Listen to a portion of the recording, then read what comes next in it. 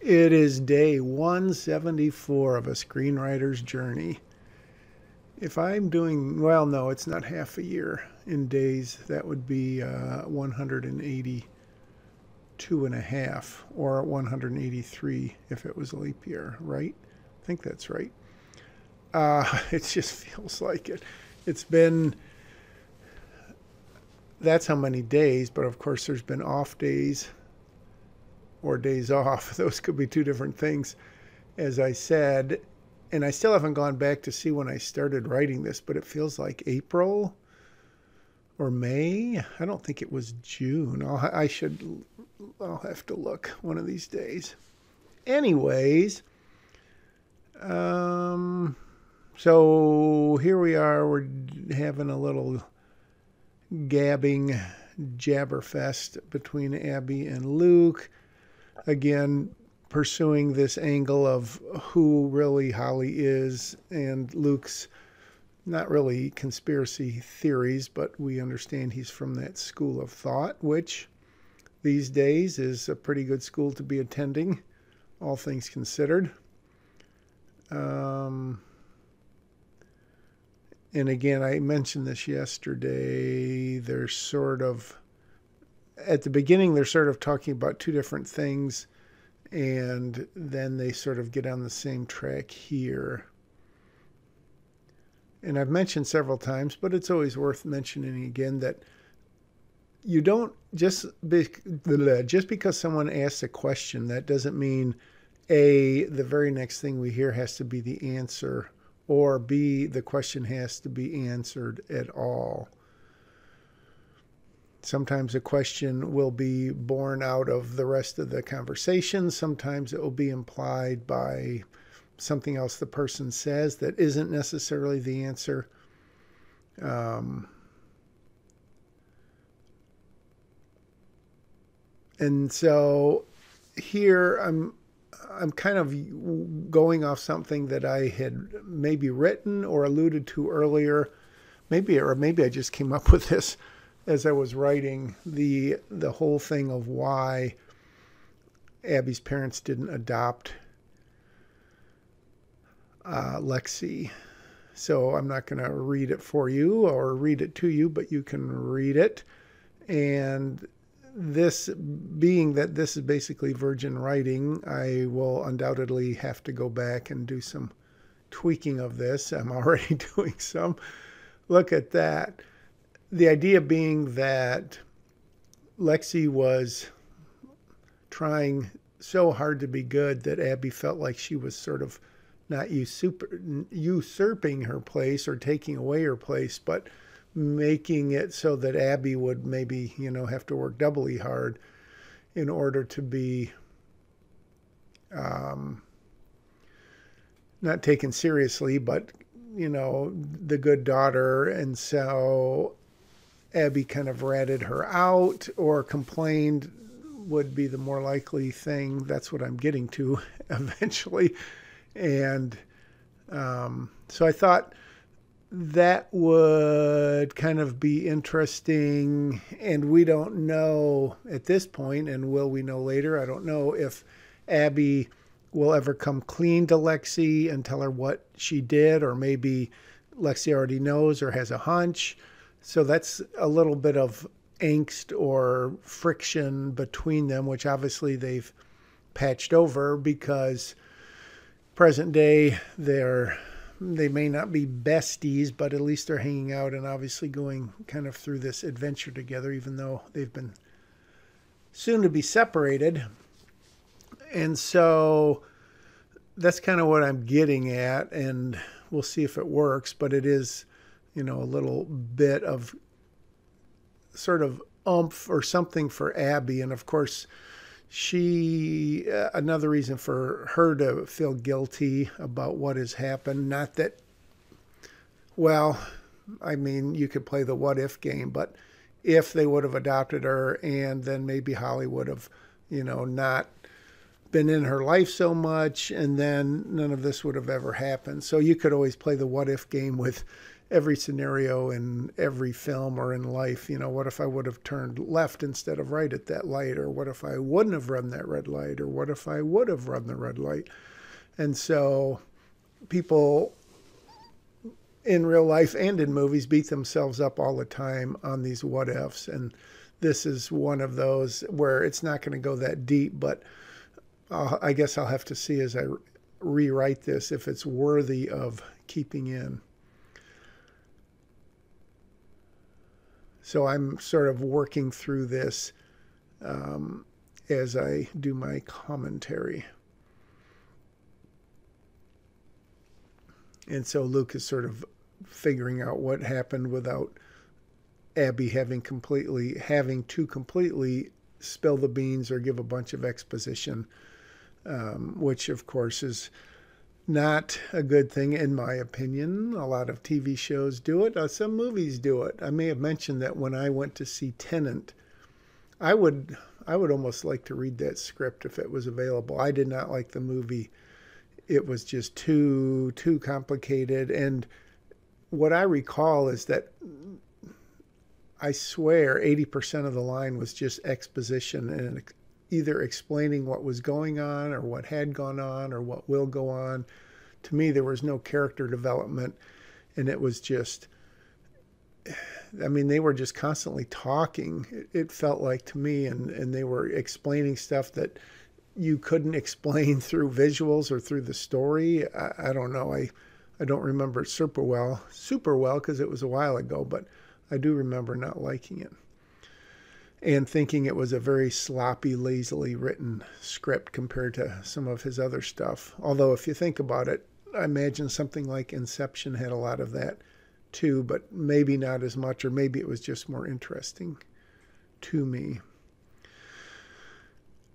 Okay, so I've spent. Uh, I'm trying to give enough voiceover to get through this point, but you can see what I'm doing. Um,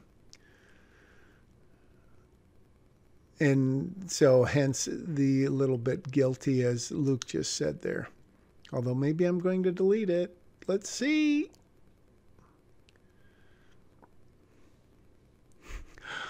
the suspense is too much. Huh. So, I don't know. Leave a comment because I know you like to leave comments. I never read any. I honestly have not looked at any of the. I mean, I'm only getting one or two viewers a day, maybe five on a good day. And I don't know how much of that they're watching. I keep threatening to go check the analytics, but when you have so few people watching, I don't even know if the YouTube analytics are meaningful or not. Uh, but honestly, I've never you know, I've gained like three subscribers or maybe four since starting to upload these way long ago. But I don't know that I've seen any comments. I've seen them on Facebook in the groups that I post these in, and most of them, I'd say, I would say 60 40 or 70 30 are like, why are you wasting our time doing this? And I'm usually, my response is, a very measured one, like, hey, no one is making you read this or watch this. So it's just sort of funny, but it's not really funny. Someday, I'm still convinced that someday this is going to prove valuable. And I would be very surprised if anyone's ever done this. And now I know why. It's, uh, I mean, A, yes, it's I've said this before, it's not a ton of work, but it, it is work that you could be spending writing. But I do contend that going through your script and seeing what you did and then making note of it out loud and, you know, opening up yourself to the world.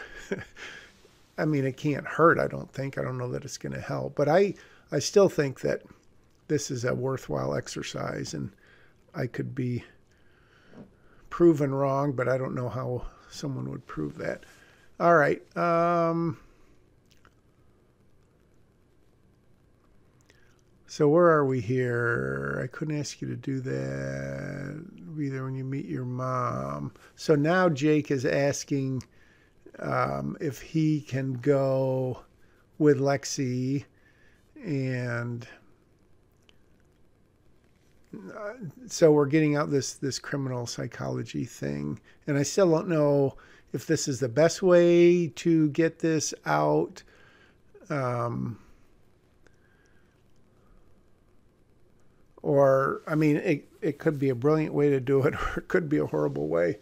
I'm not convinced that it's either at this point. I mean, the current dialogue is not good. I'll get a little extra credit. I, I say it's no good, and I hope I have rewritten it since then, but maybe I haven't. Uh, oh, look at that. I'm going to get rid of a bunch of stuff, or maybe not. Oh, it's so funny how now I have to go back and. Okay, so I'm sometimes you go back and I'm I mean I say you it could be just me you go back to change one thing literally a word a sentence to make it fit with the current story uh, the plot direction you're going and you go oh either you it's the domino thing or you go oh well this line isn't very good either and you start rewriting the scene and it ends up going in a different direction which again if I was a super good index card and plotter and beat cheater, uh, theoretically, I wouldn't have to do this. I, I still don't buy that, but I'm sure there's much better writers than I that make it work. Um, you to be a cop? I do. When you look up criminal psychology and where what career path that prepares you for, it really isn't a policeman. It's more like a profiler or even like a social worker in a way. I spoke with a woman recently who has a criminal justice degree, and she, her job is basically, at least right now, I'm sure she's done other stuff. She, she is one of the managers at like kind of a halfway house for young women in their high school years who have had difficulties and either ran away from home or got suspended from school or whatever. But it's it was interesting to me that she had a criminal justice degree. All right. Now that's one of those my first three years. That's one of those movie clever lines, which in real life probably no one would say, and I do get accused, um, and not necessarily in a bad way, but it's like, oh, that Jack must have written this script because I can tell his style and I don't know if that's always in dialogue or exactly what, but so now I'm jumping. You want to be a copy? Think I'm making what thinks I'd know my first. What makes you think I'd know?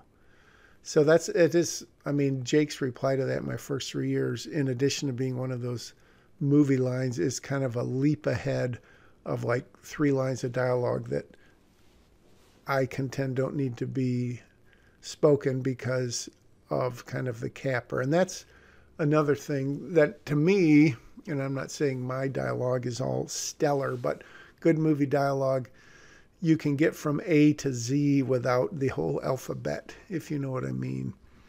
You can get from the beginning to the end of a scene, and you don't have to take every single step. Um, if you write correctly. I was going to say right, right, but I didn't. Um, so now where am I? What do you think so far? All things considered, she's seen the girl. Looks. Another thing, at some point, given what I'm writing current day, which is February 28th, um, to be posted in the first week of March or so, I'm going to have to go back through this and make sure all of this logic still works because the story, fortunately or unfortunately, continues to evolve or maybe devolve. I hope not. And uh, what I've written here may not even make logical sense anymore.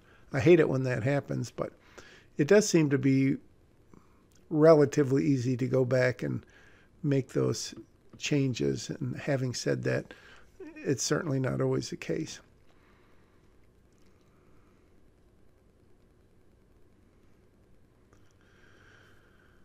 Okay, so I'm changing the gist of this scene here. I, I my tendency in writing self reflection and, and trying to be as objective as possible that I often intend to make a scene sort of more dark or dramatic or full of conflict and then I do something to levy levity it up a bit or lighten it up and it ends up not really delivering that punch that I initially think it's going to or that it should. And so that happens when you get into kind of clever, jokey, you know, whatever conversations or something. And then you kind of lose that edge. And so sometimes when I go back, I try to regain that. And I think that's kind of what I'm doing here. I don't know how successful I will or won't be.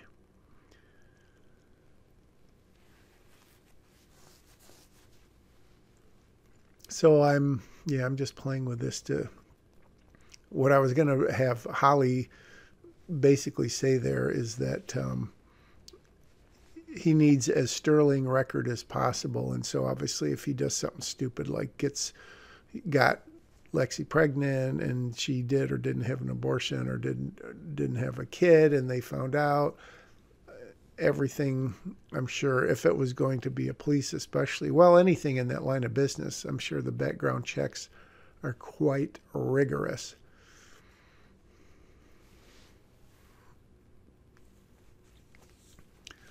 but this is where i'm realizing i think i may have checked on uh, the internet to find out where the likely career paths are.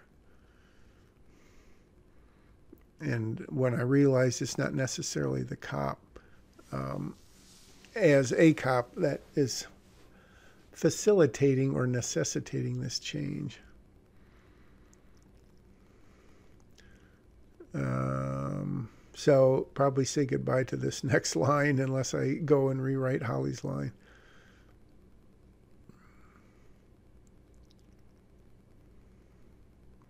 Oh.